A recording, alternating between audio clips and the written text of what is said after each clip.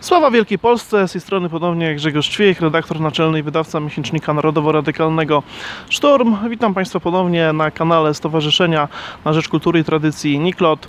Podobnie zostałem poproszony o opowiedzenie kilku słów na temat nowoczesnej doktryny nacjonalizmu. Dzisiaj postanowiłem, że porozmawiamy sobie i przemyślimy kwestię związaną z tematem troszeczkę z pogranicza e, pewnych mitów, pewnych wyobrażeń, a troszeczkę z pogranicza e, twardej polityki i geopolityki. Mianowicie e, porozmawiamy sobie o Sta- Stanach Zjednoczonych i micie Stanów Zjednoczonych, jaki funkcjonuje w przestrzeni publicznej. E, Kilka może słów e, o samych mitach. No, generalnie wychodzę z założenia takiego, że każda epoka, każda zwłaszcza epoka po okresie rewolucji francuskiej opiera się na pewnych mitach i pewnych wyobrażeniach, które są dość powszechne, powszechnie przyjmowane zarówno na lewicy, jak i prawicy i niewątpliwie po roku 89 w polskiej przestrzeni publicznej, w polskiej e, polityce, zwłaszcza tej polityce dużej, partyjnej, e, jednym z takich mitów, z takich wyobrażeń jest e, mit Stanów Zjednoczonych Ameryki. E, Teza, jaką chcę postawić, jest taka, że mit ten jest bardzo szkodliwy i całkowicie fałszywy dla naszej polityki w rozumieniu nacjonalistycznym i narodowym, o czym postaram się Państwa teraz e, przekonać. Może najpierw kilka słów, e, z czego składa się ten mit i jak go należy e, rozumieć e, w naszym takim ujęciu demoliberalnym, bo żyjemy przecież w demokracji liberalnej. E, Po pierwsze, mit Stanów Zjednoczonych zakłada, że Stany Zjednoczone posiadają najlepszy możliwy ustrój, czyli demokrację liberalną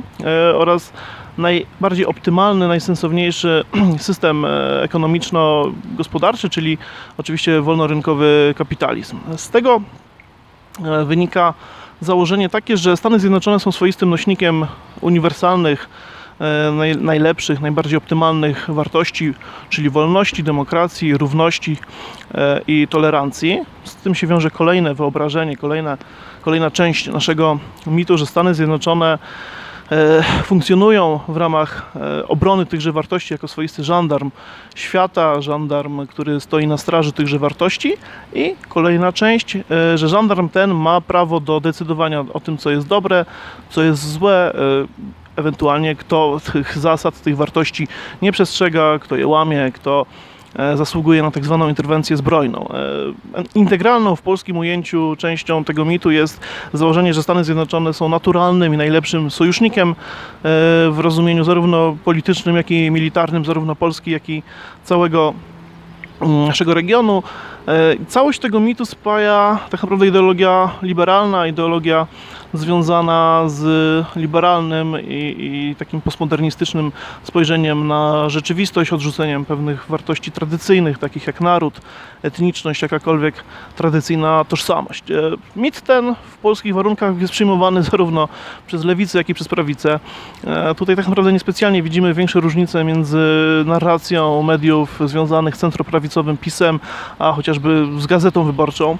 E, Ciekawa rzecz, Noam Chomsky e, w wielu swoich pracach analizował to, jak przedstawiana jest polityka Stanów Zjednoczonych właśnie w mediach demoliberalnych, e, pokazując, że są zbrodnie, są pewne działania, które w jednym wypadku są zawsze potępiane, a w drugim zawsze są relatywizowane, usprawiedliwiane, a ofiary są traktowane jako winne tego, co się z nimi e, stało. Oczywiście tu chodzi o przede wszystkim Stany Zjednoczone i generalnie kraje grupy natowskiej.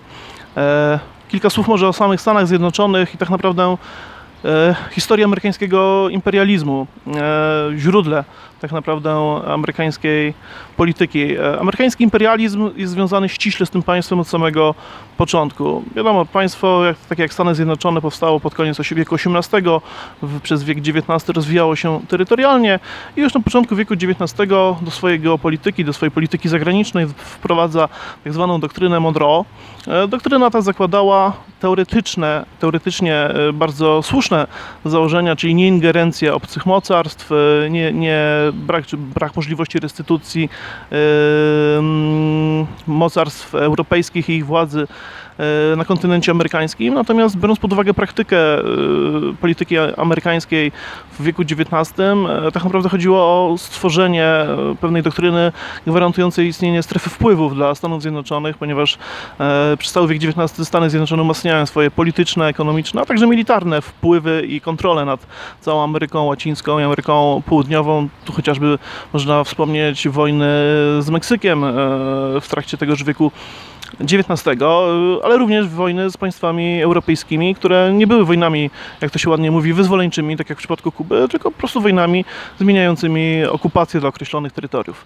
E, wiek XX zaczyna się tak naprawdę I wojną światową, która winduje Stany Zjednoczone do roli czynnika rozstrzygającego. No bo w roku 1917, kiedy Stany włączają się do konfliktu, mamy sytuację, kiedy większość państw, tak naprawdę właściwie wszystkie państwa europejskie, które biorą udział w tej wojnie, są skrajnie wycieńczone, nie widać właściwie możliwości rozstrzygnięcia tej wojny. Stany Zjednoczone swoją potęgą i demograficzną, ekonomiczną, militarną tą wojnę rozstrzygają, stają się decydującym czynnikiem. Oczywiście część osób mówi, że przecież zaraz po tym mamy uchwalenie doktryny izolacjonizmu, no ale Stany Zjednoczone prowadzą politykę wielowektorową i podstawowym kierunkiem ekspansji Stanów Zjednoczonych do połowy XX wieku nie jest Europa, gdzie zresztą miały bardzo duże wpływy ekonomiczne, ale przede wszystkim Daleki Wschód. Daleki Wschód, gdzie zaczyna się dla Stanów II wojna światowa, e, przynajmniej w sensie prawnym, w sensie praktycznym, bo przecież Stany Zjednoczone w tej wojnie uczestniczą de facto od momentu uchwalenia e, umowy Lend-Lease z Wielką Brytanią od roku 40. Natomiast w roku 41 Japonia znowu, wbrew temu co się mówi, e, zostaje zmuszona do wojny, ponieważ e, napór amerykańskiego imperializmu, amerykańskiej polityki, kapitału zmusza Japonię do takiego swoistego rzutu na taśmę e, i ataku na Pearl Harbor. Stany Zjednoczone drugą wojnę wygrywają obok Związku Sowieckiego jako mocarstwo światowe i od tego momentu realizują politykę imperialną na całym świecie, którą, co widzimy do dzisiaj. Realizują ją tradycyjnie już na kierunku Ameryki Południowej, na kierunku Dalekiego Wschodu, ale również na kierunku europejskim. Plan Marszala i tak zwany długi e, telegram Kenana są tutaj elementami, które rozpoczynają funkcjonowanie tego e, zagadnienia, jakim jest amerykańska polityka imperialna w Europie. E, ilość interwencji zbrojnych, e, ilość popieranych przez Stany Zjednoczone reżimów, które niespecjalnie mają dużo wspólnego z amerykańskimi tymi oficjalnymi wartościami, e, każe nam spatrzeć na Stany Zjednoczone nie jak na piewce określonych wartości, takich jak liberalizm, demokracja czy wolność, ale po prostu na twardo stąpające po ziemi e, mocarstwo, które normalnymi narzędziami politycznymi e, realizuje swoje cele, natomiast te cele są z gruntu antynacjonalistyczne, o czym za chwilkę kilka słów. Dla nas pośród tych kilkudziesięciu interwencji, kilkudziesięciu państw, które doświadczyły dobrodziejstw amerykańskiej, naprowadzanej laserowo i wzbogaconej uranem e, demokracji, najbardziej przerażającym przykładem jest Serbia, ponieważ pokazuje, że państwo europejskie, słowiańskie, spokrewnione z nami przecież etnicznie, również może doświadczyć dobrodziejstw amerykańskiej polityki. E, tutaj przykład jest szczególnie przerażający, nie tylko dlatego, że ataki na Serbię i w gruncie rzeczy agresja zbrojna na Serbię, nazywajmy rzeczy po imieniu, e, przyniosła ogromne straty e, liczone w dziesiątkach miliardów dolarów i ogromne straty cywilne, ale była to no właśnie wojna po pierwsze przeciwko całemu narodowi, a po drugie wojna w określonym układzie czy w określonej formie rozbicia państwa serbskiego pod pretekstem walki z serbskim szowinizmem, z serbskim nacjonalizmem. No hasła nam coraz bardziej znane, biorąc pod uwagę e, całą aferę, czy całą sprawę związaną z ustawą S447. Ale o tym znowuż za chwilę. Warto zauważyć, że polityka Stanów Zjednoczonych jest polityką konsekwentną, polityką systematyczną. Nie ma większego znaczenia tak naprawdę, czy rządzi prezydent Clinton, prezydent Bush senior czy junior, prezydent Obama. Ta polityka ma stałe wektory, ma stałe kierunki, tam się troszeczkę czasem różnią pewne e, punkty ciężkości, natomiast generalnie metody prowadzenia tej polityki są tak naprawdę identyczne, one się niczym nie różnią.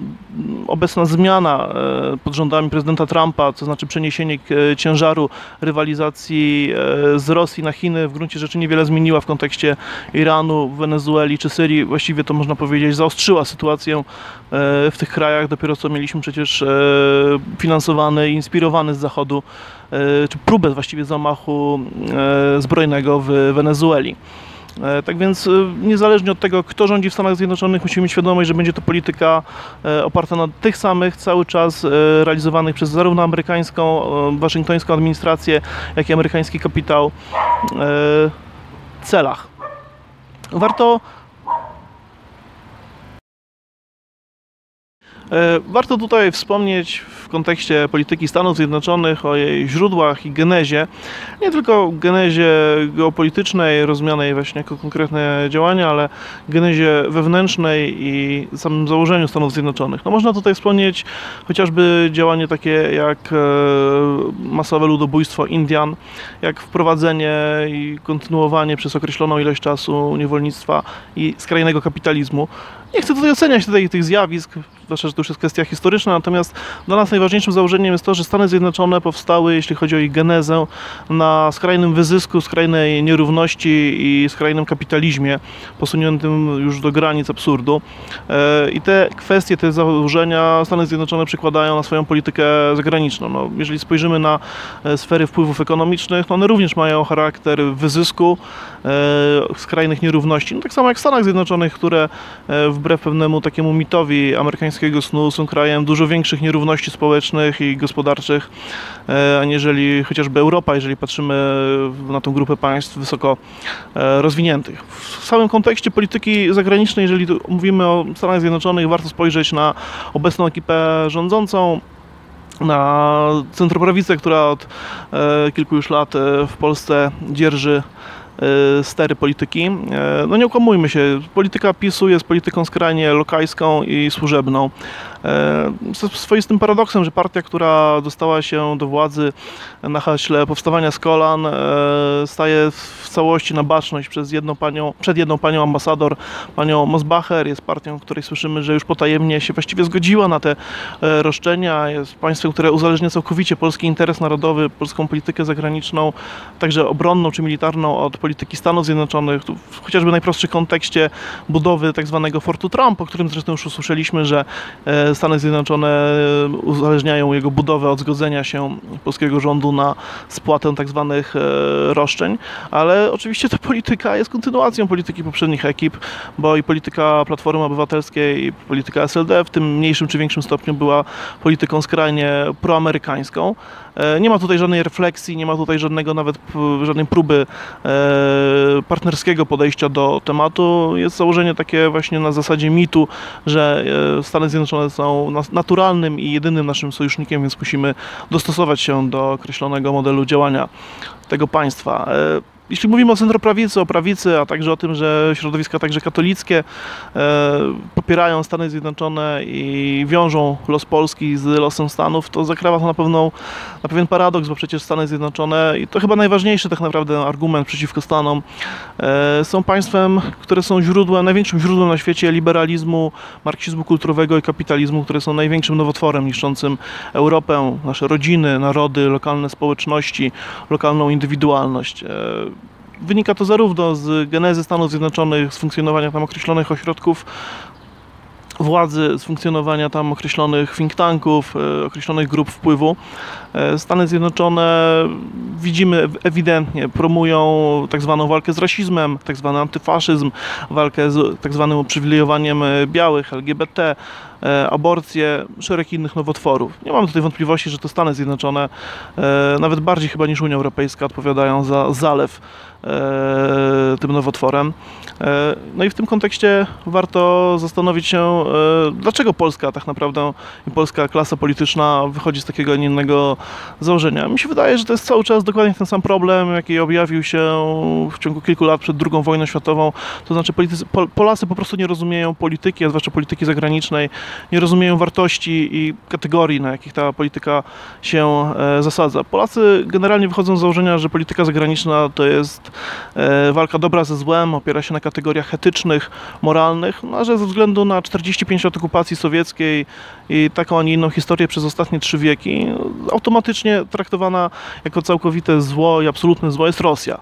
Nie mam tutaj zamiaru oczywiście usprawiedliwiać Rosji w jej wiekowych e, poczynaniach przeciwko Polsce, natomiast e, wychodząc z założenia moralnego, no automatycznie przyjmuje się, że państwem dobra, państwem jasności i, i państwem e, moralnie właściwym dla nas jest, są Stany Zjednoczone. Nie ma tutaj żadnej refleksji na temat interesów narodowych, celów i kierunków działania. Co możemy temu przeciwstawić? Możemy temu przeciwstawić Międzymorze. Międzymorze nie w rozumieniu takim, jak rozumie to Kaczyński, Morawiecki czy think tanki pisowskie, czyli jako część Sojuszu Północnoatlantyckiego, bo to cały czas będzie ta sama polityka, tylko pod innym szyldem, ale w rozumieniu myśli Józefa Piłsudskiego, myśli federacyjnej, czyli bloku państw Europy Wschodniej, szerokiego bloku, który stanowić będzie zarówno przeciwieństwo czy przeciwwagę dla imperializmu wschodniego, bo ten tak czy inaczej objawia się w dalszym ciągu, ale przede wszystkim dla imperializmu zachodniego, ponieważ musimy dostosowywać określone koncepcje do czasów współczesnych, a największym zagrożeniem obecnie jest dzisiaj i imperializm zachodni, i liberalizm, który stamtąd płynie, i skrajna nierówność i wyzysk ekonomiczny, który za tym e, idzie, jeśli chodzi o państwo takie jak Polska. Kilka słów podsumowania. E, A podsumowanie może być jedno e, i musi być takim swoistym wytrychem w, tym, w tej konstrukcji, takim wyłomem w tej konstrukcji mitu Stanów Zjednoczonych. Najwyższa pora, żeby powiedzieć wprost, że Stany Zjednoczone są naszym wrogiem. Wiem, że wiele osób, które to usłyszy, e, czy być może przeczyta niedługo w szturmie nowym, uzna mnie za rosyjskiego agenta, trola, Putina, cholera wie co jeszcze. Natomiast e, spójrzmy na kilka podstawowych cech. Stany Zjednoczone są przede wszystkim, tak jak powiedziałem, e, dysponentem ideologii liberalnej. Stosunki id- ideologii liberalnej, która z założenia jest antynarodowa, antytożsamościowa, czyli antypolska, tak samo jak jest antyfrancuska, antyniemiecka i jest wroga każdemu narodowi e, na naszym kontynencie. Stosunki ekonomiczne, jakie łączą nas ze Stanami Zjednoczonymi, są stosunkami jednoznacznie kolonijnymi, to znaczy Stany Zjednoczone występują jako kolonizator, a Polska po prostu jako tania hala montażowa. E, Stany Zjednoczone mają, nazywajmy znowu rzeczy po imieniu, wojska okupacyjne na terenie Polski, które zresztą jeszcze rząd PiSu chce zwiększyć. Mówi się dzisiaj e, o zwiększeniu kontyngentu, o budowie Fortu Trump, o którym mówiłem przed chwilką. E, Byliśmy niejednokrotnie zmuszeni e, do udziału w amerykańskich tak zwanych interwencjach zbrojnych, czyli agresjach na poszczególne kraje. W, e, Polsce funkcjonuje ambasada amerykańska, której to szefowa ambasador Mosbacher w gruncie rzeczy wys- występuje jako zarządca i nadzorca polskiego rządu, polskich e, ministrów. Słyszymy o wielokrotnych interwencjach, o wielokrotnych e, ingerencjach w działania polskiego rządu i to z punktu widzenia właśnie władzy, która może dysponować e, polskimi organami władzy publicznej. E, No i oczywiście ustawa 447 i tak zwane roszczenia, które są, nie chodzi wyłącznie o same roszczenia, o samą politykę historyczną, ale o próbę jeszcze większego zwiększenia e, ingerencji i wpływu na polską politykę zagraniczną, na polskie państwo, polski naród. W tym rozumieniu, biorąc pod uwagę tylko chłodne argumenty, a nie pewne hura optymistyczne, e, hura patriotyczne patrzenie na politykę przez pryzmat Katynia czy wojny 20 roku, no trzeba uznać jednoznacznie, że Stany Zjednoczone są naszym wrogiem, a alternatywą jest między innymi przede wszystkim budowa Międzymorza, ale Międzymorza rozumianego jako sojusz państw rządzonych przez etnonacjonalistów. Mam nadzieję, że ten krótki wywód troszeczkę Państwu rozwiał pewnych wątpliwości, e, bo też pojawiały się wątpliwości co do stosunku szturmu do Stanów Zjednoczonych. Mogę zaprosić jeszcze tylko do nowego numeru szturmu, który w przyszłym tygodniu się pokaże, ukaże w sieci, gdzie, gdzie ten problem Stanów Zjednoczonych i ich mitu będzie rozwinięty troszeczkę szerzej, troszeczkę dłużej, a na obecną chwilę dziękuję Państwu. Sława przodkom, sława Bogom.